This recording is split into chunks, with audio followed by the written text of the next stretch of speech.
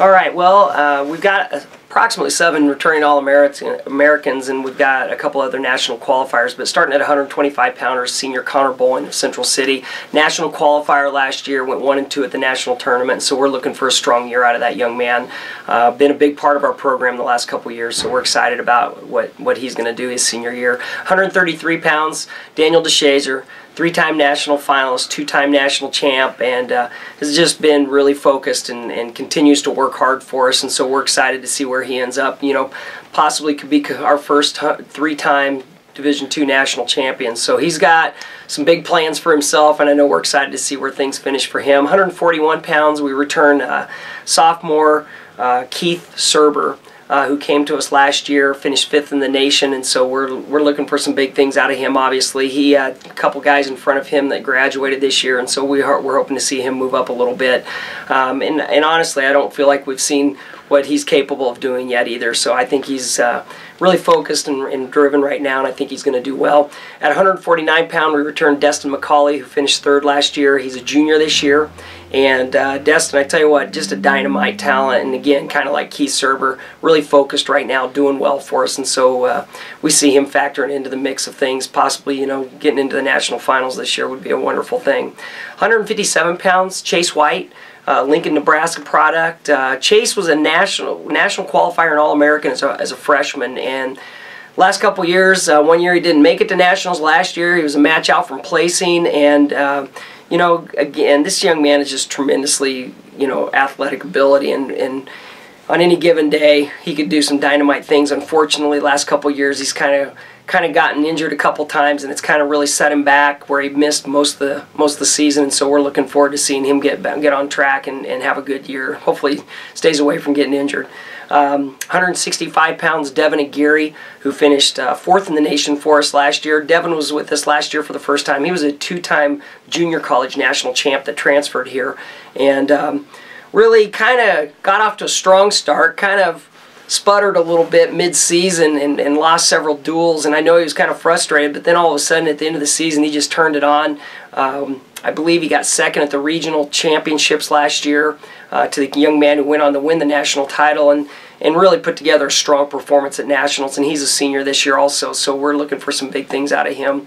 Uh, 197 uh, we've got returning um, All-American Romero Cotton and he's a three-time national finalist, two-time national champ, and it always seems like every year he has some really close and exciting matches at the national tournament, but uh, he's also been a big factor and a big part of this program the last few years, and so we're hoping to see him continue his winning ways as well. And then at heavyweight, we actually we have a, a young freshman that's out of Susanville, California. His name's uh, uh, Peterson, Luke Peterson, who's big body and, and really pretty athletic. We also have returning the semester time Kevin Barrett from our 2012 national championship team. That year he was a freshman and finished fourth in the nation for us. So so we're looking to see him kind of add into the mix there, there as well. But we've got a, a very talented group of young men, and I think they're all seniors except for three of them. And so um, got a lot of experience, and so we're hoping to continue our, our ways that we've been doing. Know, um, in MIAA's, obviously got some very formidable opponent, formidable opponents, and uh, I think that you know we're going to be challenged just like we were last year. I know Lindenwood really handed it to us last year in our one of our final duels of the year, and uh, they're they're always reloading. Central Oklahoma's always got some super talented young men, and and Fort Hays even. I mean, there's just some teams out there that just have some very talented young men that are going to push us, and so uh, you know, for us, our focus is really just stay focused on ourselves and you know, we want our guys to make sure they're doing the right things. They're they're staying focused on their studies and their and their their extra workouts and the things that are going to help them perform well.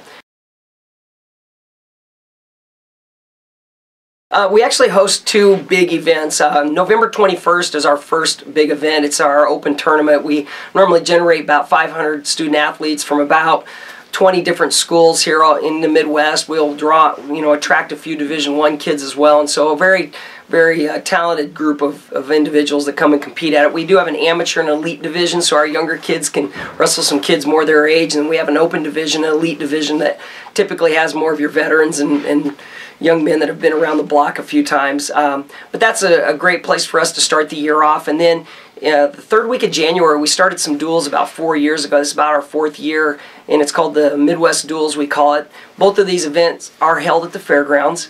Uh, but this year we have about uh, 40 colleges coming in, uh, Division uh, NAIA, Junior College, Division Two, um, and the day that we wrestle on the on the 16th, which is a Saturday, there's actually 16 Division two teams coming in, and most every school is going to be picking up four duels in that. It's not necessarily a, a championship format, but every team that comes in actually gets four duels. So, so that'll be a big big event for us. And then home duels. We only have three home duels this year, but two days before our duels out at the fairgrounds, uh, on January 14th, we will duel Central Oklahoma uh, here at UNK. And so that's obviously a, a, big challenge for us every year. Coach James does a phenomenal job training his guys, and they're always prepared to compete with us. So we're looking forward to that. And then not until January 30th, we have Newman. And then February 6th, right here at home, we have Lindenwood University, which again, that'll be a big challenge for us as well.